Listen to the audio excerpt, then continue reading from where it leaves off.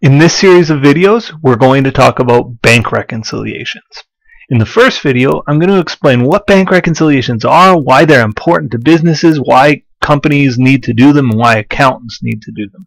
Uh, in the next couple of videos after that, we're just going to run through a bank reconciliation, we're going to reconcile the books, and uh, uh, prepare the related journal entries. So that's the focus of these videos. Uh, the first thing, though, I want to explain is what a bank reconciliation is and, and why we need one. So, um, cash is a very, very important asset of any company. If a company runs out of cash, can't pay their bills, they're bankrupt, they're dead meat. And so keeping track of cash needs to be a very high priority for any company and any company's accountant. Now, luckily, uh, in order to secure cash, most companies don't keep cash in their own vaults. They don't keep them uh, under mattresses. They don't keep them in the till. They put them in banks. And so, because of this, we actually get two records for cash. Most accountants have access to two records of cash. The first record of cash is the company's own T account.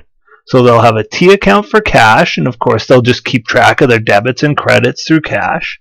And so on any given day, they should be able to look at the bottom of this T account and say our cash is whatever number, X number. And they can figure that out. Notice I put it on the debit side because cash is, of course, a debit account.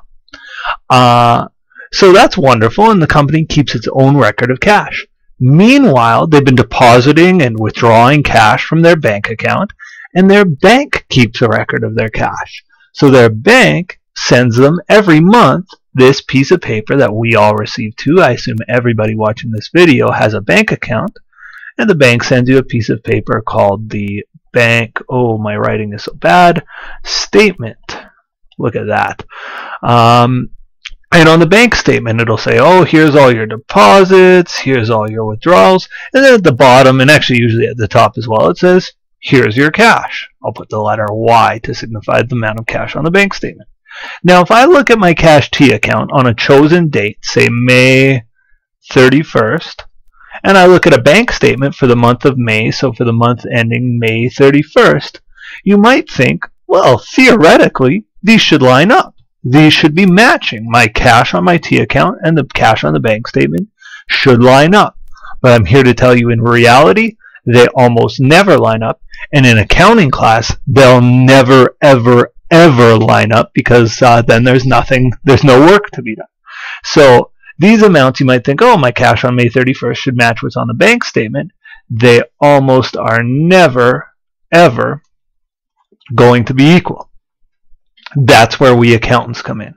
It's okay that they're different. In fact, they're, they're going to be different every month, but it's only okay if we, the accountant, can explain the differences, if we understand why they're different the key things that uh, the key reasons that the cash T account might be different from the bank statement, um, well, I'm going to explain them now.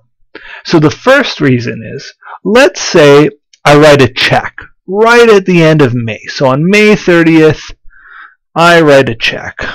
May 30th, I write a check and I pay my utilities bill. So my, my hydro company or my utilities company sends me a bill. On May 30th, I you know get a envelope, a stamp. I lick the stamp. I lick the envelope. I put a check in the mail to pay the utilities bill. So on May 30th, I put the check in the mail. Uh, May 31st, the check gets delivered. Uh, June 1st, the check is received. And on June 2nd, they deposit the check. Oh, sorry about my writing. They deposit the check on their end. Well, I hope you're able to see what's going to happen here. On my T account, before May 31st, on May 30th, all I've recorded somewhere as a credit to cash that, yeah, I, I wrote a check, let's say for $100 to pay my, my hydro bill, my utilities bill. So I write a check for $100 on May 30th. It'll be in this T account, credit cash $100. On the bank statement, though, that $100 will not appear. The reason is the bank doesn't find out I wrote the check until June 2nd. They don't learn about the check until the next month. This is one reason that the cash T account might be different from the bank statement. This is called an outstanding check. Similarly, we can have the other things we've recorded in our cash T account that the bank doesn't know about yet. For example, if money's come in and I go, oh, money came in, debit cash. If I don't take it to the bank right away, the bank's not going to know about it. When that situation happens, it's called a deposit in transit because I go debit cash on my side of the books, but the bank is still waiting for the money. I'm, I'm waiting to bring it to the bank. So we call that a deposit in transit. If you want to be casual, you can call it an outstanding deposit, and I think that's fine. So those are the two key reasons that my Cash T account might be different from the bank statement. I have checks that have yet to clear, in other words, outstanding checks, and I have deposits where I haven't put the money in the bank yet or it's waiting to be processed in some way, and that's called an outstanding deposit or a deposit in transit. Those are things that might be on my T account that won't be on the bank statement. There's also another reason that the bank balance can be different from my cash balance. And the main one, and probably anyone who has a bank account can relate to this, is that at the end of the month, at least when I get my bank statement, I look at it, I'm always surprised. Right at the bottom, they sneak in that line about bank charges. I never know if it's going to be five bucks one month, ten bucks another, twenty another if I use my my debit card a lot. Um, but I'm never sure about that bank charge amount.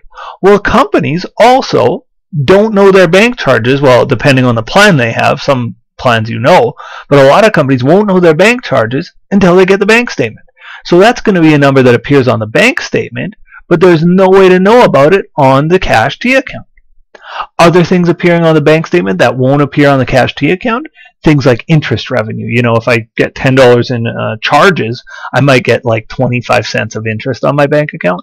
Well, even still, they're, they're adding 25 cents to my cash, but that's something I won't have recorded just as normal business transactions. So that's a debit to cash that's on the bank statement, but it's something I'm missing in my cash T account.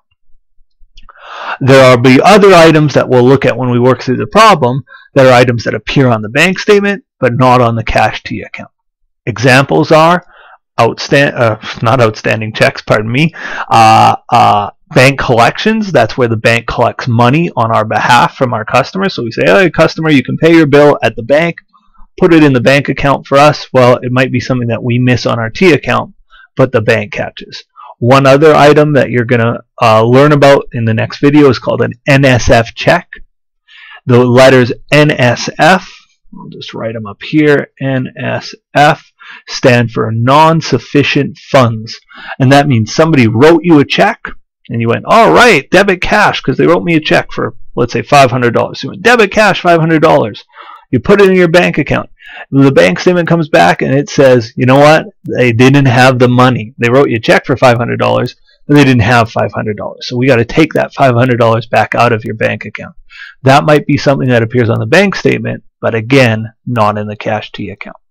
So bank reconciliations are all about us as accountants explaining the differences between what's appearing in our cash T account and what's appearing in the bank statement. And by being able to explain the differences, we understand our cash situation. And remember, it's important to know where our cash is going, where it's coming from, and, and this external document, this bank statement that comes from a bank, comes from a trustworthy source, is a great way to be sure about our cash balance, to be sure that we've got it right, and to be sure that we're not missing something. So every company does monthly bank uh, reconciliations, and if they don't, they should. Every company I've ever worked with has. Uh, and it's something that you absolutely need to learn to do to be a good accountant, and something you absolutely should be learning in just about any introductory accounting class. So in our next video, we're going to run through bank reconciliations.